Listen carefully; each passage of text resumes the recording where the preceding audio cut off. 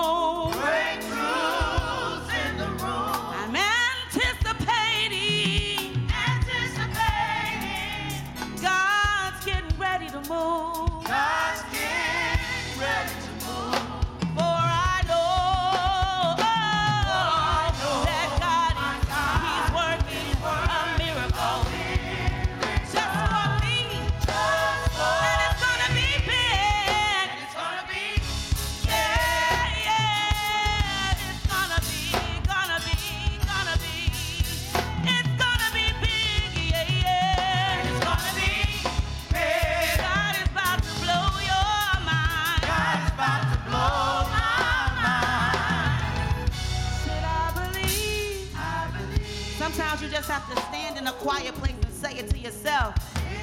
It's, it's your season. season. God, I don't know what's happening, but I think that you are shaping me for something better. I believe that it's my time right now, God. It's Everybody else had their chance, and I'm standing.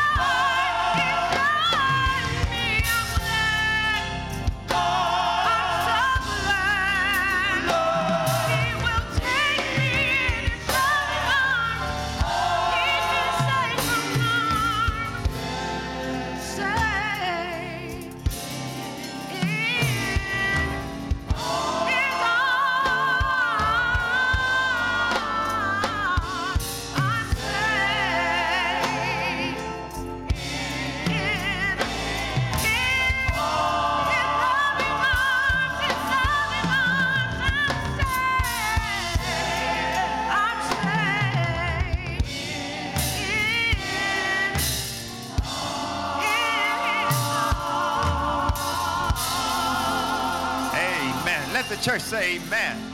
Come on, stand on your feet and give God a great big hand. Give God the greatest praise you can.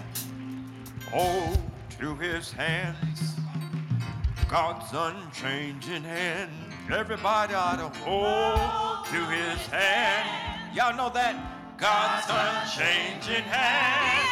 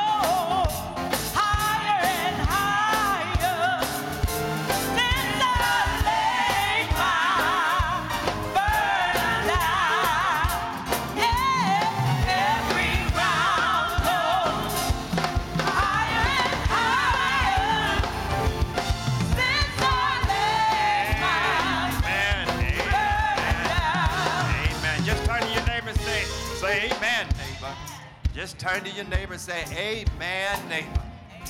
Or sometimes you just got to go back to that old landmark.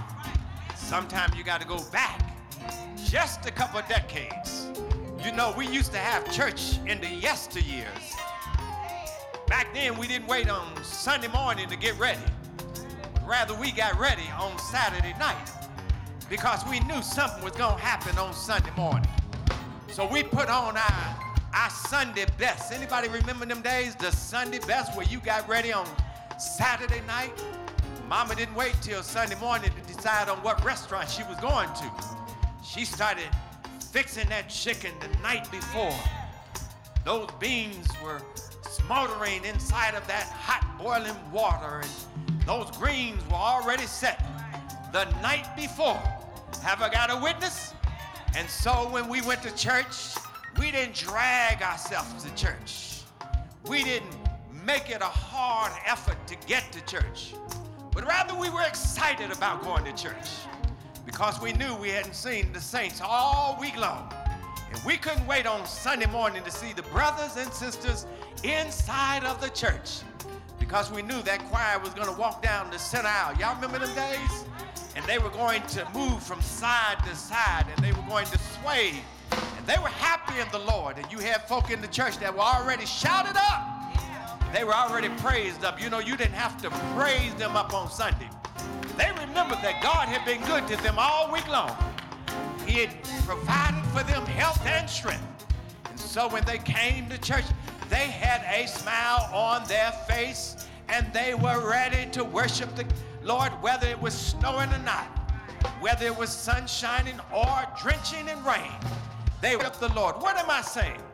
The Bible says, remember the Sabbath day and to keep it holy. Now, Larry, some people got that wrong. They think the Sabbath day just means a day of rest. So, what they do is they stay inside of the bed and they rest all day long and they don't do anything uh, during the Sunday morning or the Sunday, right? And so what they would do is the Bible says it's a day of rest, which means you don't work on Sunday morning, right? It means it's a day of rest. God works six days and then he rested on, on the seventh day and uh, he didn't do any more work or labor. But that's really not what it means. It means it's a day of resting from working and laboring it also means, really, it's a day, how shall I say it, of being happy, of having fun, of laughing and enjoying the Sabbath day by going to church and then going home and eating dinner with your family and laughing and looking at the game and, and, and, just joking and having a good day. So, how come we here looking so sad this morning? when the Lord has been better to us than we've been to ourselves. Have I got a witness? And we don't know what tomorrow is going to bring. And we might need him more tomorrow, so we better shout our way through today so we can shout our way through the week. Have I got a witness? I know what you're saying. You're saying you're too old. Well, you ain't dead. You might be too old, but you ain't dead. As long as you got breath in your body, you ain't dead. Have I got it, we used to say anything dead ought to be buried. Well, you're not dead, so we're not going to bury anybody today. Turn to your neighbor and just wave at them. Say, I know what you mean, neighbor. Amen. God bless you. We're going to go into a moment of prayer today because y'all look like y'all just are working so hard today. Y'all coming like this, like y'all so tired. I can barely make it. So I had to wake you up a little bit and let you realize that there's sunshine on the inside of you that can come on the outside of you. We're, we're ready for prayer. Y'all come up to the altar. For you, we're praying for. We're praying for uh, mother, sister Julia Edison. She lost her mother on last week. I pray for you. You pray for me. We're all a part, part of God's body. Stand with me agree with me. We're all a part of God's body. We're praying for Julia, Julia Edison and her family. Funeral services will be held at Calvin, I believe. Calhoun Funeral Services on next this Friday around 9:30, 10 o'clock. As you bow your heads, whisper a word for um, Sister Edison right now. And also, we're praying for Reverend Rivers and Minister Rivers. They have had so many family members to pass on to the other side of Jordan. And we're praying for them. Yet there are members who are standing in the gap between life and death. And so they're praying for folk who are sick. Pray for Sister uh, Weather, who lost her nephew, young man who was at Cleveland Heights. You might have saw it in the papers. They found him deceased at his office. And so we're praying for that family. Denise Ferris, Lillian Aries, Denise Bryson. We're praying for James Nash. We're praying for Brother Young right now and Sister Young. Brother Young is still dealing with some issues in his body. Norma Shong. We're praying for Nancy Ware, Juanita Canada, Bobby Watkins, and other. Dear Lord, we come now in the name of Jesus. We thank you for the many miracles that you grant to us. And even now, you said to us that even in the midst of death, you are always life and you're constantly resurrecting people. You went into the city of Nain, and there was a young man who had been buried. And they were taking his coffin out. You stopped the burial session and you touched the coffin and you ordered that that young man would be would come forth from the dead. And the young man and his son did. The widow shouted the son shouted because you were letting us know that you have a way of bringing life even in the midst of death. And so we pray for julia and her family right now. Remind her that weeping may endure for a night but joy will come in the morning. Walk with her through this valley called shadow of death. Be, O oh God, with these others who are on the prayer list and those who stand around this altar. We're believing that you can heal, that you can deliver whatever they're struggling with. Let them know that they not have a defeated attitude and mindset, but rather because they are in you and you are in them, they are triumphant even in their situation. We pray that you will heal bodies today and that miracles will occur even now, finances will be straightened out, relationships will be corrected. And we're believing it because of who you are. In Jesus' name we pray.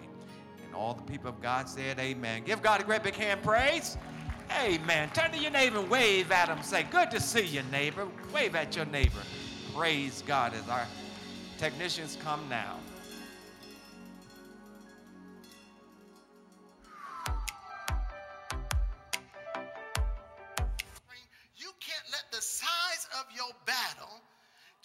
Strategy for your success. His success came in his preparation before the battle was even started. What did David do? He tapped into the power of putting his battle in God's hands. See, the truth of the matter is, if you put it in God's hands, it will always hit the target. If you put it in God's hands, you can be delivered. If you put it in God's hands, it release your anxiety. If you put it in God's hands, you will get over what's bothering you. If you put it in God's hands, God will lead you to victory. See, the truth of the matter is, if you put it in God's hands, He'll lead you to the resources that you need. See, our protection doesn't just come from our armor, it comes from who we The Freedom Conference weekend is back.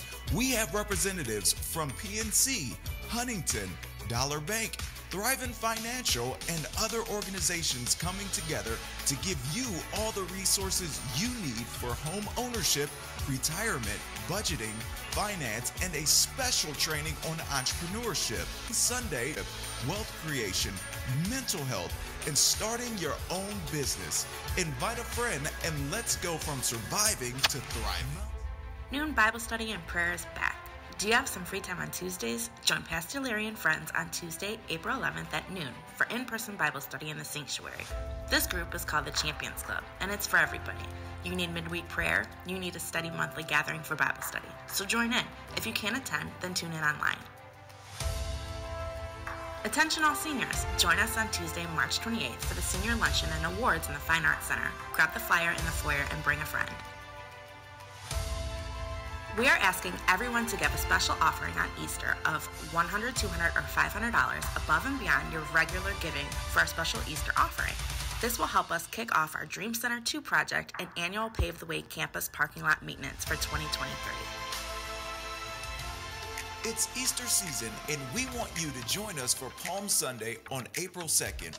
This year, there will be a pre Easter helicopter Easter egg drop in the park right across from the church.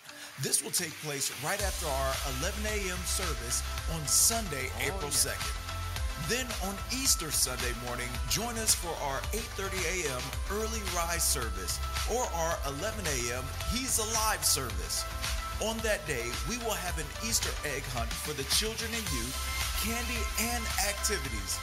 Also, we will be showing some highlights from our kids ministry on the jumbo screens that Sunday so your entire family can come and watch your kid talk about Jesus in front of the entire church.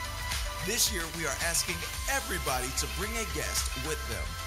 Register your guests at the Connect desk so we can give them a special gift for visiting on Resurrection Sunday.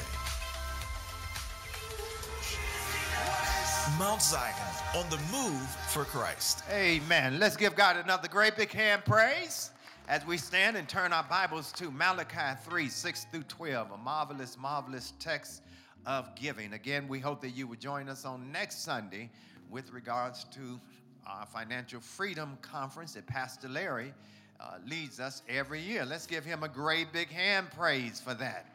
Amen. I'm sure he'll tell you more about it as he comes forth to share with you today. We're going to have a brunch, uh, kind of working session even after the service is on next Sunday. So hopefully you'll sign up for that, and all kinds of folk will be here to help you on your finances. We have sent that message home to you. Hope you're listening to it because we want everyone to be uh, blessed even in wealth and know how to manage their affairs and their funds as well.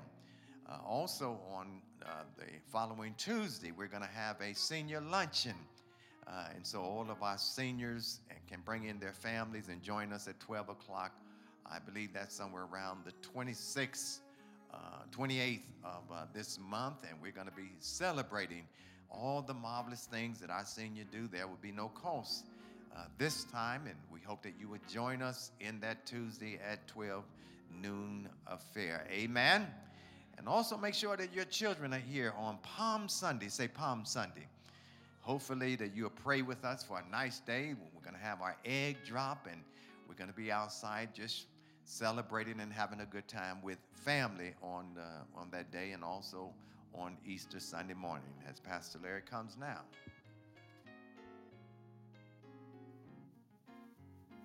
Amen. As our Bibles are turned to Malachi 3, 6 through 12, we're going to read that responsibly. The Bible says this The Bible says, For I am the Lord, I change not. Therefore, ye sons of Jacob are not consumed. And you say,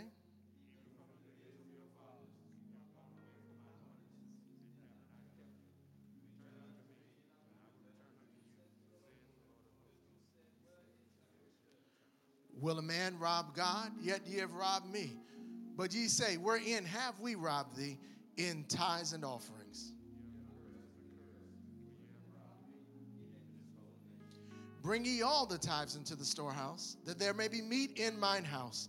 And prove me now and herewith, saith the Lord of hosts, if I will not open you the windows of heaven and pour you out a blessing, that there shall not be room enough to receive it.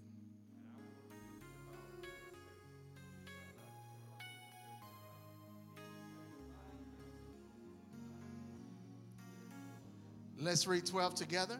And all nations shall call you blessed, for ye shall be a delightsome land, saith the Lord of hosts. Let us bow our heads in a moment of thanks, thinking unto God, thanking God for all we have and all we'll ever have. It's because of the goodness and the graciousness of God.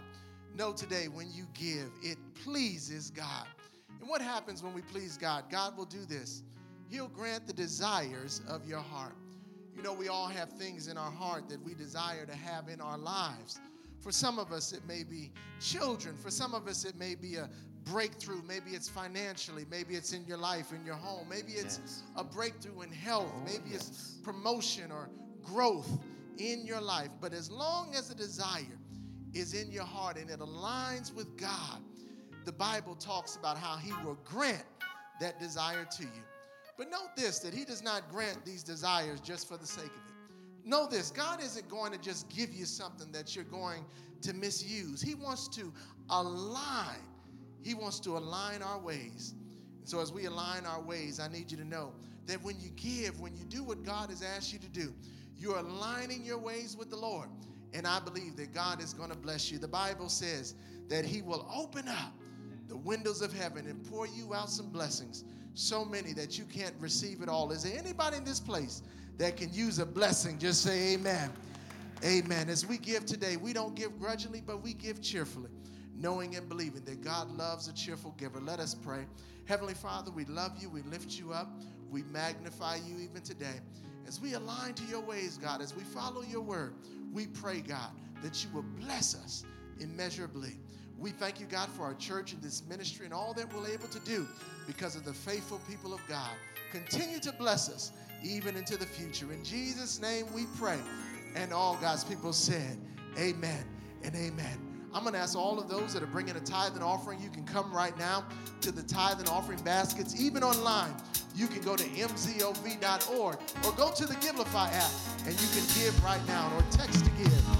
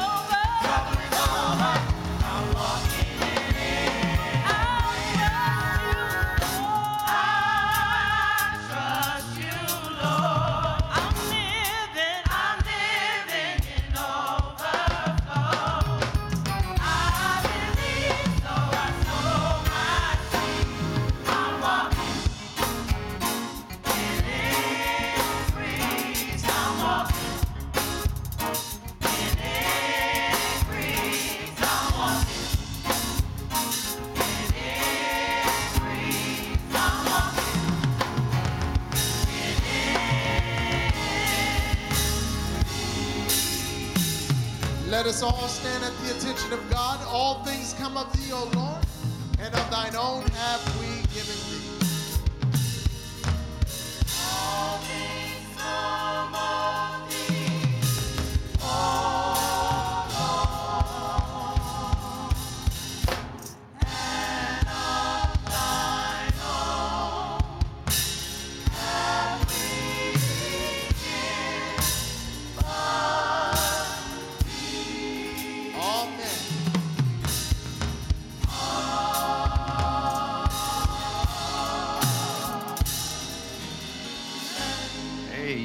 God a great big hand praise as you remain standing for just a moment, lifting up a word of prayer even now for what God is getting ready to do. Ask Him to speak to you, to speak through me to you. Ask Him to hide me behind the cross. Come on, somebody. We cannot have preaching without praying. We will be just an empty sound, tinkling cymbal. Ask God to speak right now. We need to hear a word from the Lord. There's something you've been struggling with, something you've been going through all week long, and you need God to heal you. You need God to speak to you. There's something that has troubled you in mind, heart, and spirit. But we believe that God is able to do exceedingly above all that we ask or think. And so he says to us, we must ask and think our way into the blessing that we're asking for. I don't know what it is. God has just said to me, there's someone We've been burdened down all week long, troubled about many things. You need to know that God can speak to you in His strange and awesome way.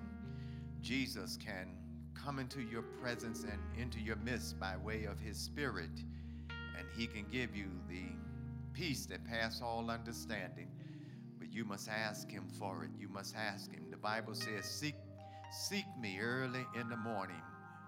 Find me, you will find me, you will find rest unto your heart and your soul. God becomes your refuge in time of trouble.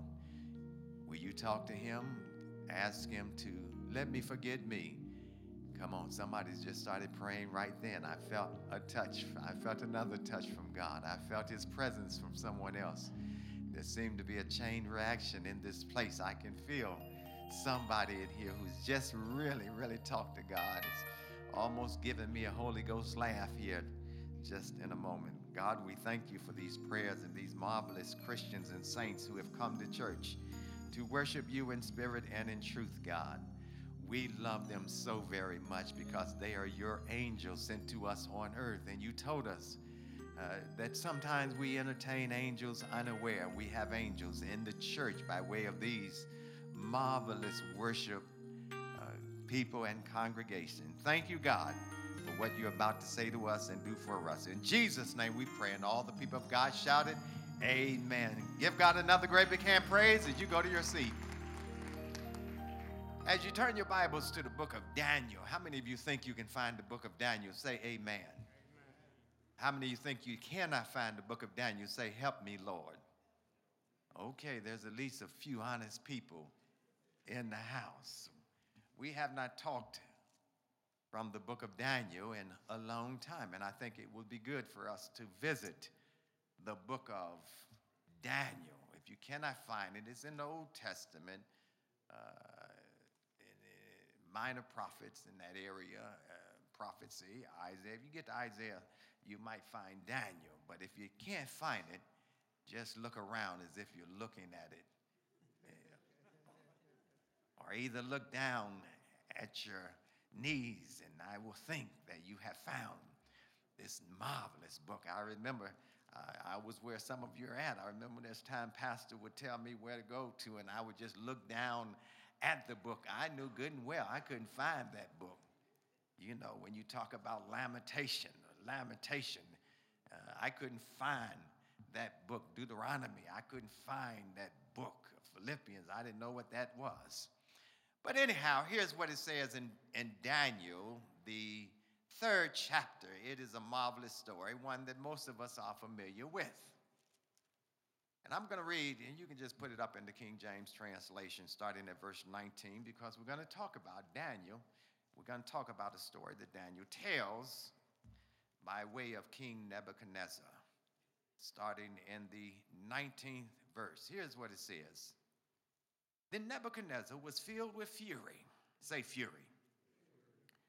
And the, and the expression on his face, the expression on his face, and the expression on his face was changed against Shadrach, Meshach, and Abednego.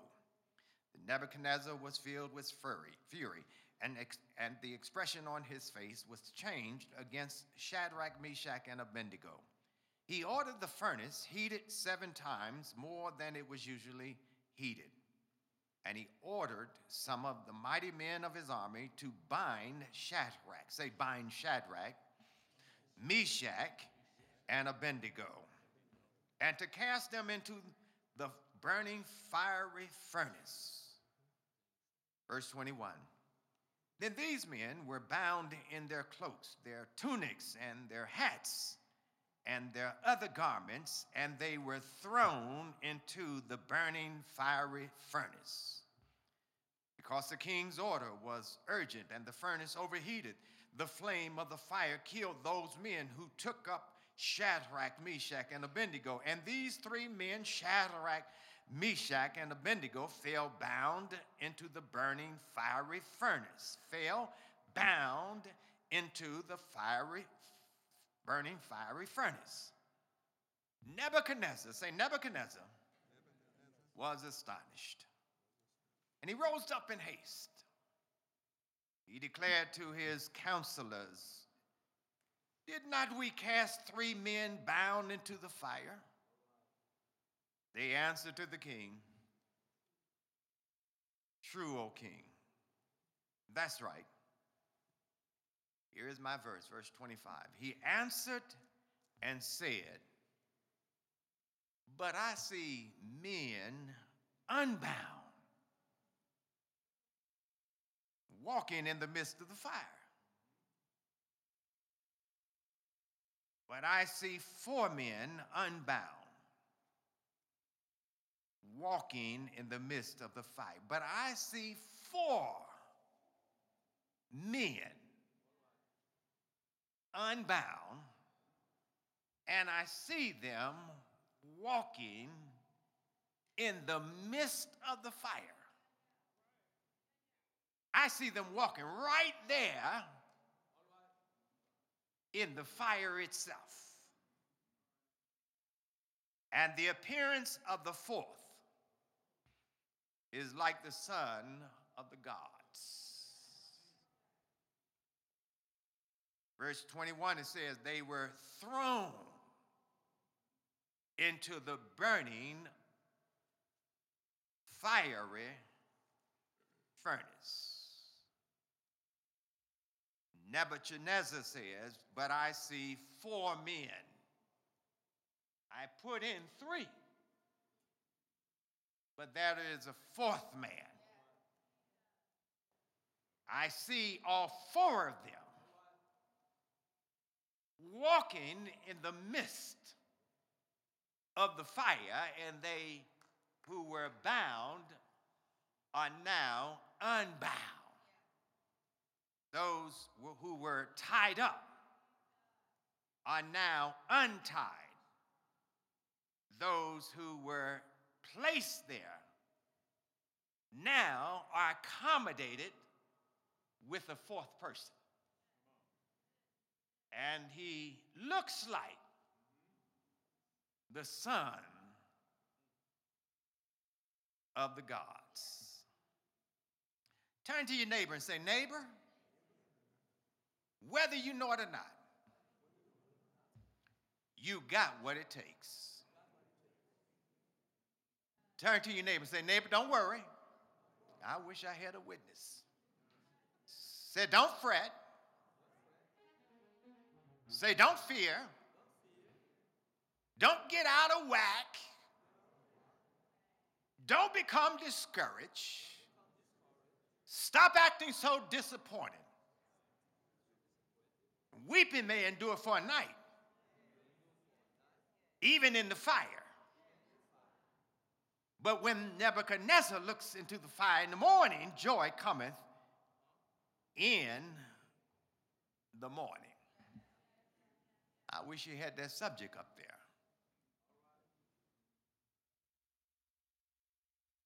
You are going, you, you, you've got what it takes. The other day, I was looking into the prayer box and I read a prayer from a person by the name of Jessica. Jessica wrote a prayer and I read it and I was really, really shocked about what I, what I read.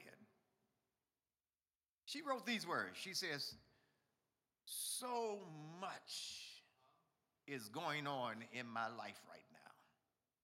And when she writes the word so, she has all of these OOOs behind the S, which means it's really a lot of things going on in my life.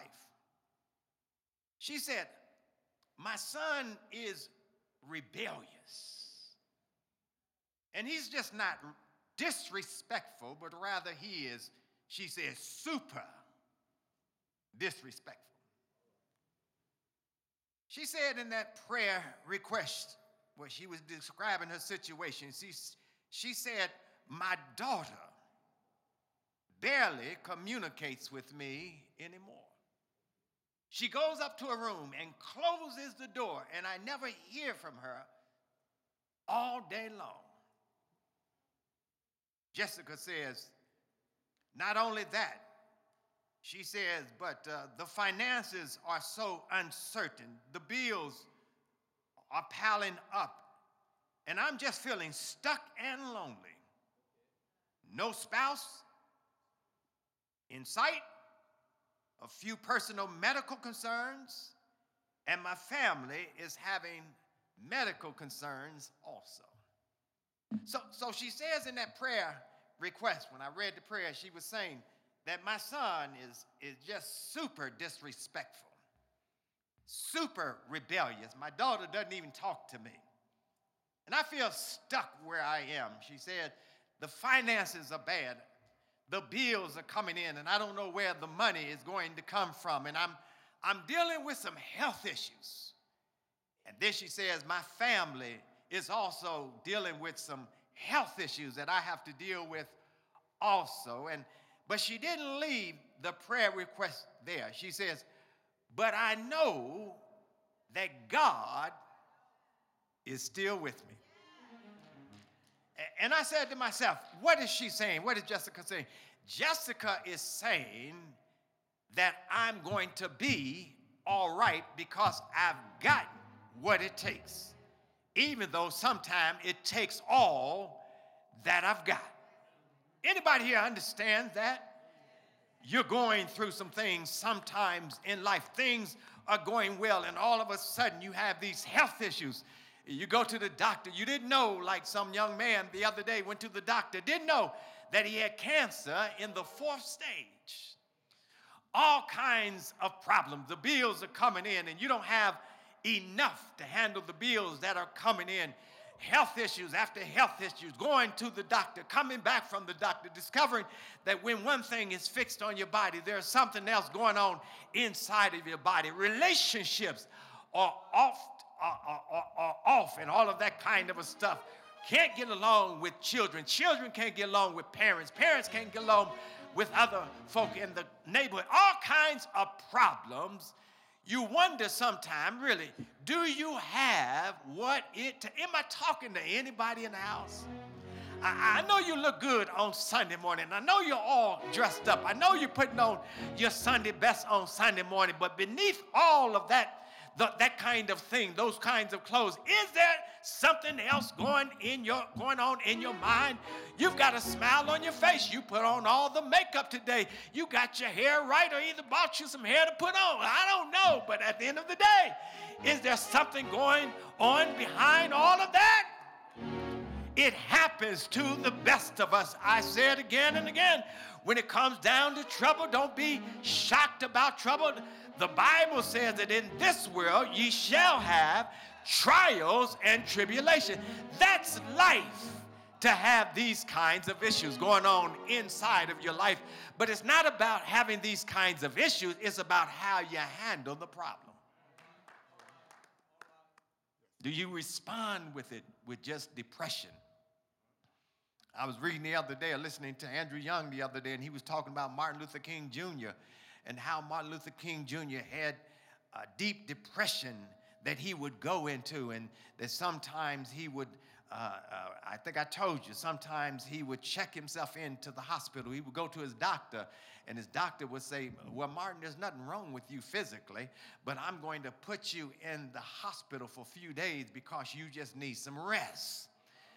And, there were times to which Martin Luther King was so depressed. He took the weight of the world upon his shoulder, and he felt so bad when he could not deliver, especially when people were saying to him uh, the derogatory things about the works that he was doing, and he became so depressed that there were times that he couldn't even get out of bed, that they had to bring in people like Mahalia Jackson just to sing to him so he could get up out of bed. It happens to the best of us.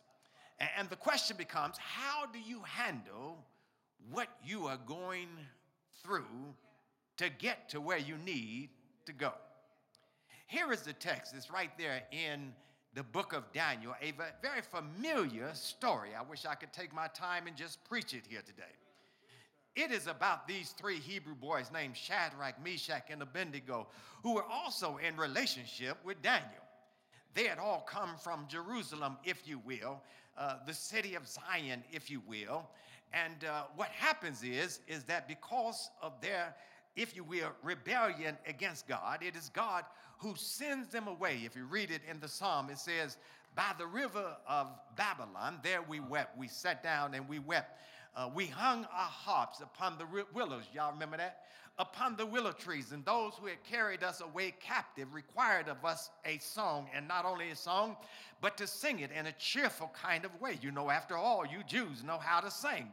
They say that about Negroes. Negroes know how to sing. They do, really do. Uh, but at the end of the day, y'all ain't praying with me, so you got what you got. Uh, and so they said, There we hung our harps upon the willow, and those who had carried us away captive, y'all remember that, required of us a song and to sing it with myrrh or Mary. And we responded to them, How can we sing our songs in a strange land? They had been taken out to the riverside of Babylon, to Babylon, to Babylon, Chaldee, Chaldee. That's where Abraham had left out from the Ur, Chaldees of Ur, Ur of the Chaldees. Babylon, southern Iraq, and they were carried captive. But there were three boys by the name of Shadrach, Meshach, and Abednego, and young Daniel. Y'all remember Daniel, don't you? Daniel in the lion's den, thrown into the lion's den, he turns his face towards the east and ultimately he is released out of the den of lions. Can I take my time? And so there's these three boys who are promoted inside of the Babylonian kingdom up under King Nebuchadnezzar. Nebuchadnezzar understands that they are foreigners, but they have certain gifts that they can offer to the kingdom. They understood a government, they understood accounting, they understood how to make Babylon prosperous. And so the king blessed them in Babylon. Do you not know that God can bless you in strange places? In strange land, in places that are not familiar with you. I wish I could preach this thing. I know some of you haven't been through very much lately, but keep on living, and you're going to discover that what you are going through in life is really strange. You haven't had these kinds of health issues, you haven't had these kinds of feelings before, you haven't gone through these kinds of dark days. Keep on living. Someone used to say that life is not uh, a straight line, but life is filled with curves going this way and that way. It can be straight for a moment, and suddenly you'll find yourself going through the curves of life. Have I got a witness in the house? Sometimes you're up, and sometimes you're down, and other times you're level to the ground. That's what life is all about. And so, and so there is Shadrach, Meshach, and Abednego who are getting promotions in strange places. God will bless you in places that you never thought He would bless you in. I know I prophetically said something to somebody. Can I say it again? God will bless you in places where you never thought God would bless you in. He, will send you to the hospital and you'll get a bad prognosis, and all of a sudden things start to working out for your good. In strange, I wish I could preach it. In strange, has anybody ever been blessed in the midst of some problems? Can you give God a great big hand praise? If you if you came out on the other side, you ought to give him some real praise. If he brought you through on the other side, you ought to give him some real praise. You were in the darkest, despairing moment in your life, and somehow the Lord made a way out of no way. You ought to give him some real praise. You didn't think you were going to get through that thing, but somehow God made a way out of no in strange land. And when you're blessed like that, everybody ain't happy. Y'all might be sleepy right now, but I ain't that sleepy. Everybody ain't happy when you get blessed. You get a new car, and they say, look at them. They think they're all this, that, and that. No, no, this is just my blessing. You get a new house. They say, look at them now. They got a new car. You, you come in with a new, look at me, think, think there's some kind of, got a new set of clothes on, you know, and, and they get jealous about what God has blessed you with when they don't understand what God has for you is for you and what God has for me is for me. And, and as somebody said, don't challenge my blessing if you don't know my problems. Or what I had to go through to get to what I'm at, where I'm at. And so there were three, the, the three boys were being, uh, they were being hated upon. Am I taking too long? They were hating on Shadrach, Meshach, and Abednego, and they were Babylonians. And they said, Well, we're, we're, we're going to make sure that we, we plan. Ah, I didn't know I was going to say this. We are going to plan their downfall. You know, there's a few folk around you who are just planning your downfall. They're just waiting on you to fall.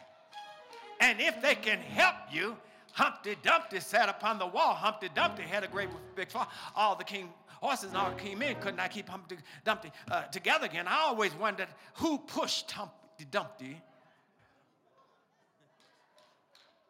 Turn to your neighbor and say, neighbor, who pushed him?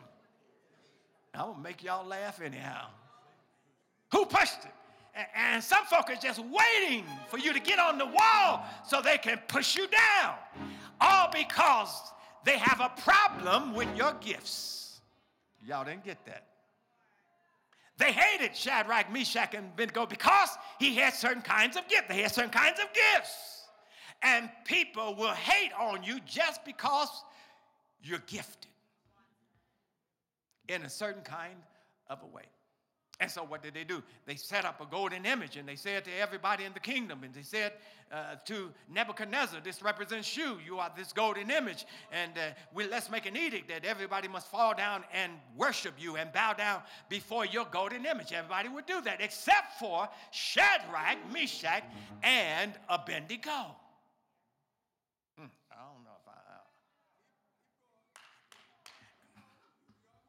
There's something called counterculture. And anytime you're counterculture, you'll find yourself in problems. The culture said, bow down towards the golden image. The three Hebrews said, no, we are counterculture. We don't agree with what the culture is telling us what to do because we are the sons, if you will, are the children of Abraham, Isaac, and Jacob. And so we, we worship the God of Abraham, Isaac, and Jacob. So we cannot follow the culture because the culture is not consistent with the God of Abraham, Isaac, and Jacob. Y'all ain't getting it. And so we got to be counterculture. You see, the problem here is that everybody uh, want us as Christians to follow the culture. And the culture right now is messed up. Y'all ain't getting this. Y'all gonna work me today up in here, up in here, up in here. Whether you know it or not, what the culture is trying to do is destroy the church. I wish I could preach this thing. They up there talking about again. You know, you ain't got to go to church. I, I hear somebody said that to me on my post just this morning. Said, why I got to go to church? Give me a scripture. I wanted to slap her down. You don't question the pastor. I'm Dr. Macon. So I sent her a picture with a church building and a scripture that says, Forsake not yourself, the assembling of yourself one with another. Go to church. Remember the Sabbath day and keep it. You see, I know where she's headed. I ain't got to go to church to be religion. No, you ain't got to go to church to be religion, but it sure do help a little bit. I wish I could preach this thing counterculture. The problem is that the culture is trying to tell us what to do. But the Bible says that ye are the salt of the earth, ye are the light of the world, ye are the city upon the hill. We are not to be following the culture, we are to be shifting the culture in the name of Jesus. Uh, well, let me go on. They were counterculture. They were going against the culture of their day. And so they said, No, we can't bow to your God. We got to bow to our God only. Well, Nebuchadnezzar did not have a problem with that until they made an edict that they had to bow to him, in essence. And the Bible says in verse 19, he becomes furious. Don't miss that word. I asked you to look up that word and watch that word fury. He was furious. And the text says, what, what the text means is that he's very angry. Now, in the Message Bible, Eugene Peterson, it says this way He doesn't turn red, he turns blue.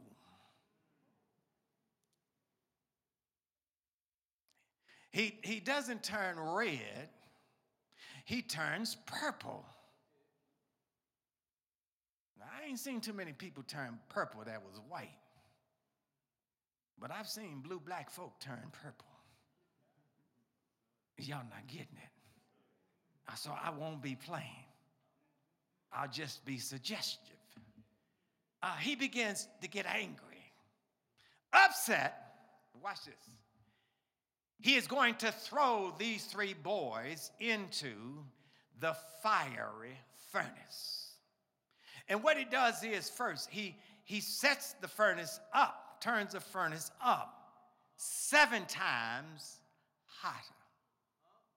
Why, it's so hot until the soldiers, if you will, who are escorting them inside of the furnace, uh, uh, uh, when, when, when, when, when, when they, in essence, toss the three boys in, the flames at a distance burn them up and they drop dead right there. It is extremely hot. It's, it's, it's symbolic. I wish I could preach it. It's, it's, it's metaphoric about the anger of Nebuchadnezzar. Turn it up! Has anybody ever said to you, in essence, turn it up? Have you gone through something look like the enemy is saying, turn it up on them? It, looks like they're saying, uh, they ain't got enough of suffering, turn it up. They have not experienced enough death, turn it up. They have not experienced enough sickness, turn the sickness up. They have not they turn it up seven times hotter. And not only that, but if you read the text, it says that the king orders them to be placed into the fiery furnace with extra clothing. Put on a heavy coat, put on another heavy coat on it, and it says, put on the tunic and also put on hats. Now, a tunic is a sort of Old Testament hat, but it said put on tunic and hats, put on shoes, put on gloves, put on all these kinds of things. What is he trying to do? This is the way people are sometimes. They don't just want you to burn, they want you to burn slowly.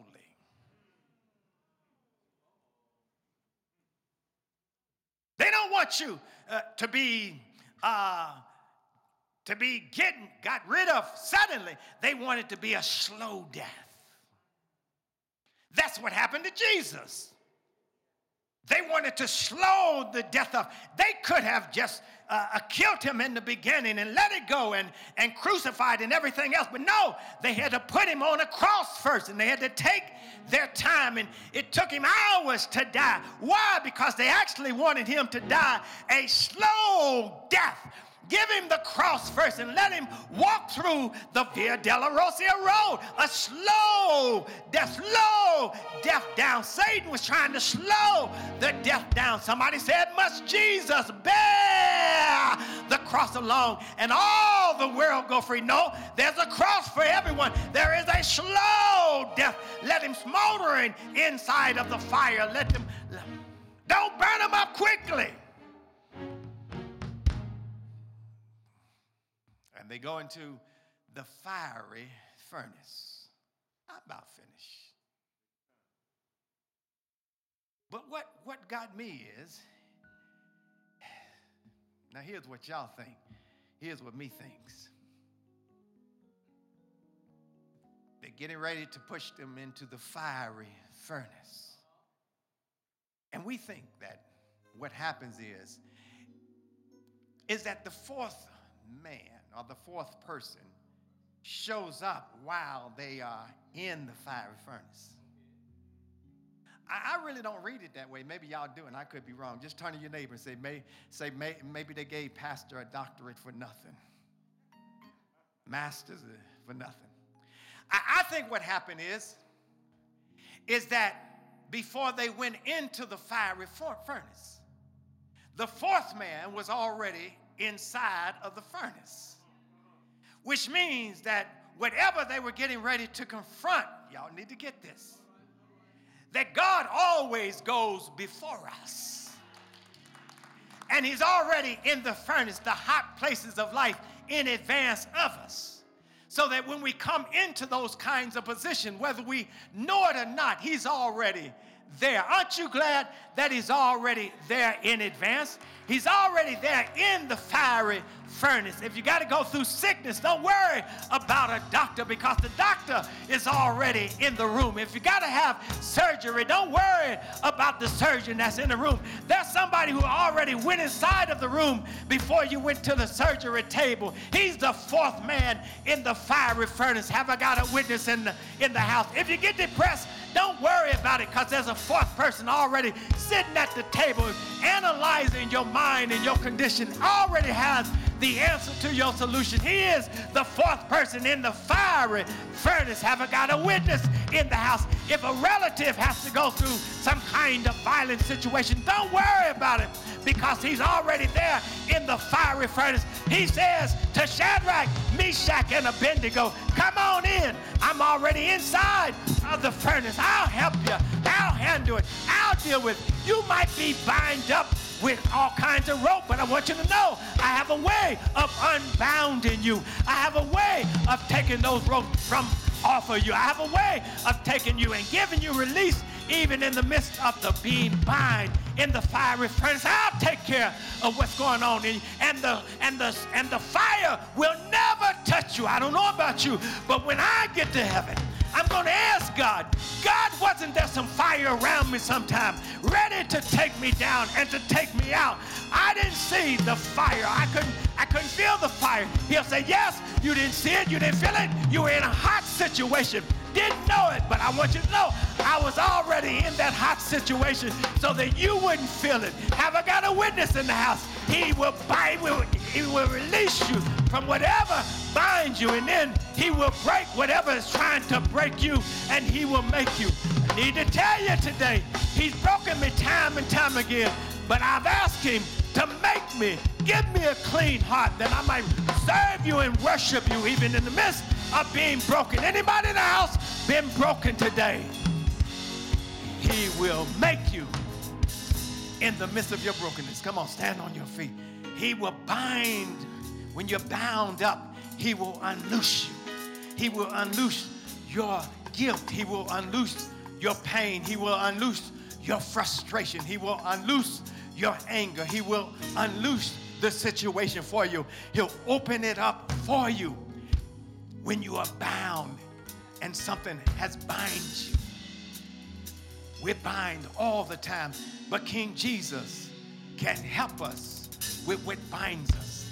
He can come on, choir. He can he can make us when things break us. He can use what was intended to take us down to pull us up. And he can handle our burden. The songwriter said, King Jesus can roll all burdens away. Is there anybody in the house who can attest to that? Oh, come on. I know God has rolled some of your burdens away. He said, Come unto me, all ye that labor and is heavy laden, and I will give you rest. We're troubled on every side, we're persecuted, we're taken down. But in all of this, we are more than conquerors. Jessica, come here. You've had son, you got a son that's rebellious and super disrespectful. You got a daughter who won't even talk to you. You feel like you're stuck. You're having all kinds of financial issues. Family is having health issues. You've got health issues. You don't even have a partner in your life. But I need to tell you that you're going to be all right in the midst of all of that because you have Jesus on your side. What does she say? She says, I've got all of this, but I know God is with me. But she didn't leave her prayer thoughts there. After she says that, she said, You know, I've had more laughing days and I've had crying days lately. She says, It looks like I got more strength and energy today than I ever had in my life. She says there are some days that I barely, I'm barely able to get up out of my bed, but those are fewer and fewer as life goes on, even in the midst of all of the stuff. In essence, she said, I've got what it takes. I started shouting. I said, You don't need me to pray for you. You've already got the fourth person from the fiery in the fiery furnace of life. And you got what it takes. songwriter said, If I've got Jesus, then that's enough. As you bow your heads in the word of thanks unto God, even now, tell God how grateful you are. If you have Jesus in your life, let him know that you're, you're grateful because now you've been reaffirmed and affirmed that you've got what it takes. We used to sing a song, Me and Jesus got a good thing going. We don't need nobody to tell us right from wrong. Let Jesus lead you. Today, if you don't have Jesus in your heart, which means you have him in your mind, your spirit, your soul, you will discover that you do not have what it takes to make it in life. But if you have Jesus as your Lord and Savior, you have what it takes. If you're here today, maybe we could just join in with those other folk in praying the prayer of salvation. Would you just say, Dear God, I thank you for being in the fiery furnace with me. You died on the cross. You were buried and resurrected from the grave. I always want you in my life. You made a promise to me. You would never let my hand go, and you will have an eternal grip upon my life. And so we will be together forever through thick and thin. And because of this prayer, I know I have what it takes to enter into heaven even now. Would you keep talking to God now? Make your requests be known unto Him. Tell Him what you want. Tell Him what you need right now. You know what it is. If you're in the fiery furnace, tell Him that you've been in the furnace or you're in the fiery furnace and you need Him to stay with you. The king looked into the fiery furnace and said, to his servants, Did not we put three in? Behold, I see a fourth one walking. And he looks like he's the Son of God. If you're here today, you've never been baptized, you need to be baptized. And I hope that you will fill out one of those connect cards and be baptized. If you have family members not, that are not baptized or in church, tell them to stop being counter to the culture. The culture said you don't need Sunday, you don't need church, you don't need the preacher. You don't need the fellowship. You don't need to be hanging out with Christian folks anymore because they're not Christian and all of that. You go against the culture and say, No, I need the fellowship. I need the church. The preacher's feet themselves are beautiful. I need the Lord on my side. You are looking at us online. We pray that you will hit that button. Email us right now. Say, I want to be saved or either say, I said that prayer, now I need to know the second steps. Oh God, we thank you again for this time that, that you've allowed us to worship you in spirit and in truth. Now, God, remind us every day that we wake up that when the enemy tells us we don't have what it takes, remind us what the sermon and the message that you gave today, that we do have what it takes as long as we take Jesus with us. Bless us and thank you, God, for this moment of worship. In Jesus' name we pray. All the people of God said, Amen. Give God a great big hand praise. Turn to your neighbor, give them a wave, and say, Neighbor, I'll see you next Sunday. Amen. God bless you. God be with you. Come on, choir. You made a way, you made a way.